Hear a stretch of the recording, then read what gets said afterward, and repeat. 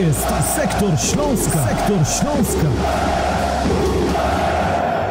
To jest Sektor Śląska, czyli nowy format e, Śląsknetu, w którym komentujemy bieżące, gorące wydarzenia dotyczące e, Śląska, Wrocław. E, a takim wydarzeniem ostatnich dni było niespodziewane wypożyczenie Piotra Samca-Talara do łódzkiego Widzewa.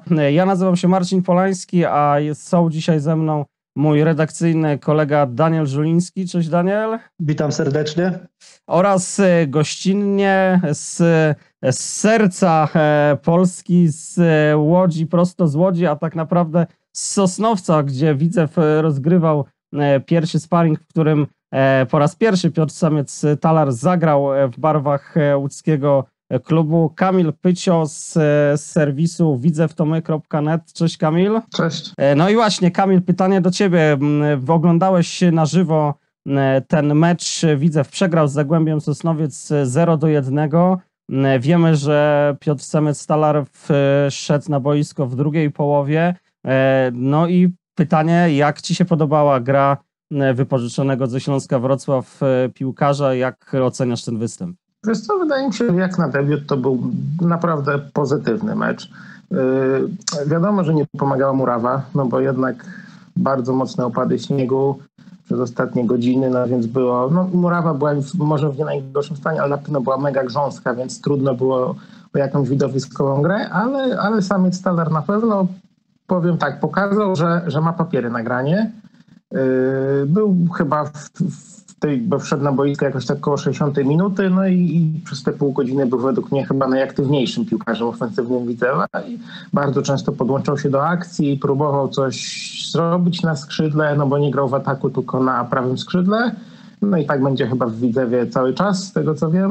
No i wydaje mi się, że, że, że, że jest to jakiś tam pozytyw, pozytywny debiut, można tak powiedzieć. Debiut pozytywne pytanie, co będzie dalej? E, jak widzisz e, możliwość e, gry Piotrka w, w Widzewie? No w Śląsku za wiele minut w Ekstraklasie nie złapał. Pytanie, czy w Widzewie ma szansę na więcej czasu przebywania na boisku? Czy to, że jest młodzieżowcem może, może mu w tym pomóc? No ja szczerze powiem, zdziwiłem się, o ile faktycznie, faktycznie gdy był ten temat samca Talara za pierwszym razem, czyli, czyli jakoś na początku stycznia, no to, to okej, okay, ale później przyszedł do nas Paweł Tomczyk z Lecha Poznań, no i wrócił Przemysław Kita po kontuzji, czyli taki, taki nasz ulubieniec trybun. Yy, no i na ten moment mamy czterech napastników, takich naprawdę równorzędnych. No wiadomo, że Robak jest numerem jeden, ale, ale zanim ta rywalizacja jest gdzieś taka, taka bardzo równorzędna. No i samiec talar jest z piątką, tak w zasadzie dopiero. No ale z tego, co się dowiedziałem, to samiec talar nie będzie w wygrał w ataku, tylko będzie grał albo na lewym, albo na prawym skrzydle, w zależności od potrzeb.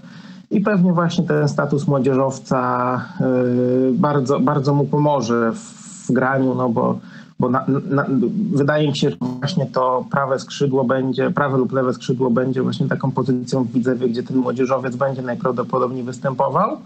E, no bo w pierwszej lidze tak samo jak w Ekstraklasie jest obowiązek jednego młodzieżowca. E, no i właśnie ma, ma dwóch konkurentów do gry, czyli Michaela Ameją, który jest piłkarzem ciekawym, obiecującym, ale bardzo nierównym e, i Roberta Prochownika, który jest jeszcze piłkarzem dość mocno juniorskim, więc wydaje mi się, że że sam Talar będzie miał całkiem spore szanse na grę. No pytanie tylko, czy, czy faktycznie to jest piłkarz, który powinien grać na skrzydle i czy, i czy troszkę te jego atuty nie są hamowane właśnie, gdy on gra z boku, a nie, a nie na dziewiątce. No właśnie, Daniel, e, no my mieliśmy okazję obserwować Piotrka grającego zarówno na szpicy, jak i, jak i na skrzydle. E, udanym akcentem zakończył e, zeszłą rundę w meczu rezerw, notując dwie bramki. E, no właśnie, ale Daniel, czy ty myślisz, że to jest e, optymalna pozycja dla Piotrka, ta, ta, ta gra na skrzydle? No bo ja nie jestem do tego, do tego przekonany, jednak wydaje mi się, że, że lepiej mógłby sobie radzić w ataku, a w ataku w Śląsku nie dostał e, tak naprawdę szansy, żeby mm, się pokazać w dłuższym wymiarze czasowym w ekstraklasie. Znaczy chyba nie trzeba być jakimś doświadczonym skautem ani, ani e, trenerem e, z papierami, żeby zorientować się, że Piotr Samiec-Talar nie jest skrzydłowym e, i po prostu z tym skrzydłowym nigdy najprawdopodobniej nie będzie. Wiemy, jakie ma atuty, wiemy, jakie ma wady i pewnych wad też już nie przeskoczy. No nie jest na tyle uniwersalnym zawodnikiem, żeby teraz w ciągu tej jednej rundy przestawić się na, na grę na skrzydle. I myślę, że to jest troszeczkę taki chaotyczny ruch ze strony Śląska. No, Widzew zyskuje, bo Widzew ma kolejnego zawodnika do rywalizacji, ma młodzieżowca, czyli poszerza ten wachlarz, jest to komfort dla trenera, ale ze strony Śląska uważam, że jest to ruch po prostu chaotyczny i tworzenie sztuki dla sztuki, tak? Wypożyczmy chłopaka, nie wiem, wyślijmy go jak dziecko na zimowisko i niech biega tam za piłką, ale dla jego rozwoju uważam, że to jest kiepski, kiepski ruch, bo nie będzie grał w ataku, co już nasz, nasz tutaj gość zauważył, więc nie ogrywamy tego zawodnika na jego ulubionej pozycji. Męczył się we Wrocławiu grając na skrzydle, pewnie nie ukrywał, że tego, tej pozycji nie lubi.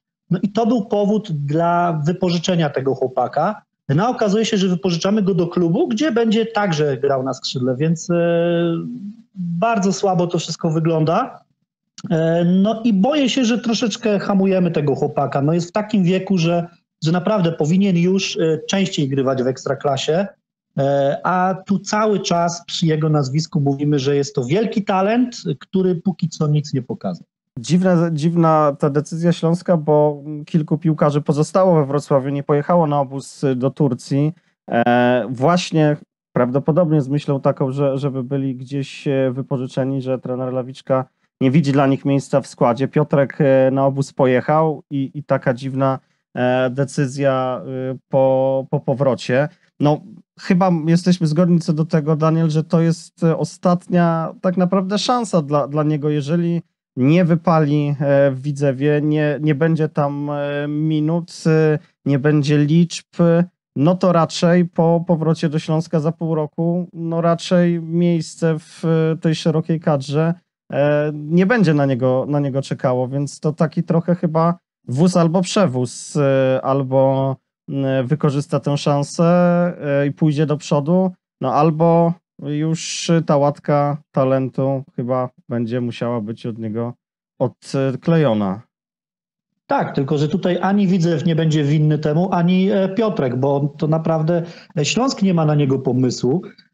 I wiemy w jakiej sytuacji ligowej także jest Widzew. No, klub z olbrzymimi nadziejami na, na, na, lepsze czasy. E, są tam spore ambicje, no widzimy to po ruchach kadrowych, no tak jak przed chwilą e, usłyszeliśmy Paweł Tomczyk, e, wzmocnienie w ataku, jest Marcin Robak, jest Karol Czubak, także no tutaj atak naprawdę, no, no Piotrek tam raczej miejsca nie znajdzie. No i tak jak mówię, no sytuacja widzewa jest taka, że oni nie będą patrzeć, żeby, żeby za wszelką cenę ogrywać młodego gracza Śląska, tylko przede wszystkim będą szukać punktów. Tam jest olbrzymia presja.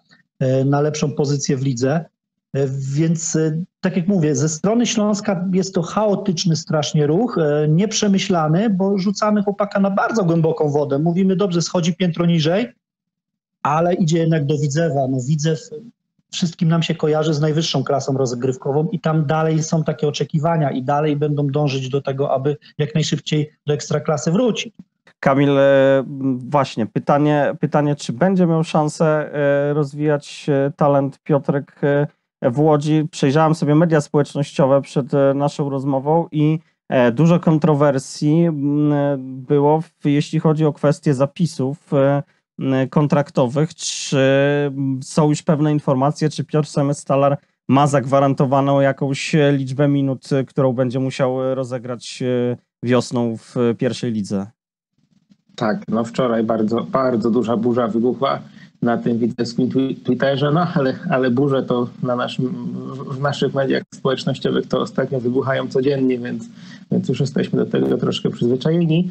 E, faktycznie tak, tak jak, tak jak mówisz, e, dziennikarz Marcin Tosz lub Tors, nie, nie wiem jak to się czyta, z wrocławskiego Super Expressu napisał, e, że, że Widzew po pierwsze będzie płacił całe, całą pensję samca Talara, a po drugie dostanie dużo zagwarantowanych minut w umowie.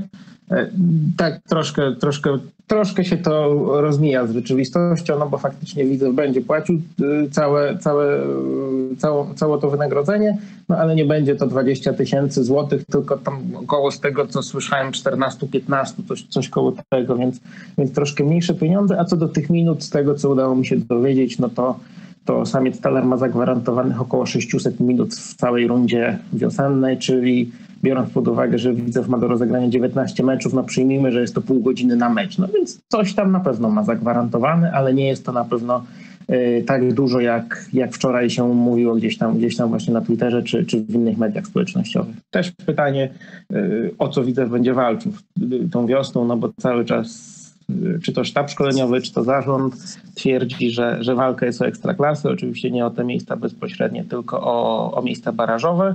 I jeżeli faktycznie walczymy o ekstraklasy, no to każda, każdy, każdy zawodnik klasowy się przyda. A jeżeli to, ma, to miałby być sezon na przyczekanie, na, na zbudowanie drużyny, to faktycznie ten ruch mógłby zostać odebrany jako taki niepotrzebny chyba po prostu. No zobaczymy, czas, czas pokaże. E, Piotrek ma troszkę więcej czasu na, na przekonanie do siebie trenera, bo pierwsza liga e, rusza dopiero za e, prawie miesiąc. Widzę, wyjechał teraz, wyjeżdża na obóz, więc tam, tam będzie miał okazję na zgrywanie się z kolegami. Będziemy monitorować sytuację Piotrka w Łodzi jak e, mu się wiedzie w barwach Widzewa. E, to był kolejny odcinek e, Sektora Śląska. Przypominamy, że można nas słuchać na YouTubie, na SoundCloudzie i na Spotify'u, a partnerem głównym naszej redakcji jest Superbet. Zapraszamy w poniedziałek. Relacja na żywo będziemy na stadionie w Mielcu, gdzie Śląsk zainauguruje wiosnę. A za dzisiaj dziękuję Wam Marcin Polański. Daniel Żuliński i Kamil Pycio. Do zobaczenia, do usłyszenia. Hej Śląsk! To jest Sektor Śląska. Sektor Śląska.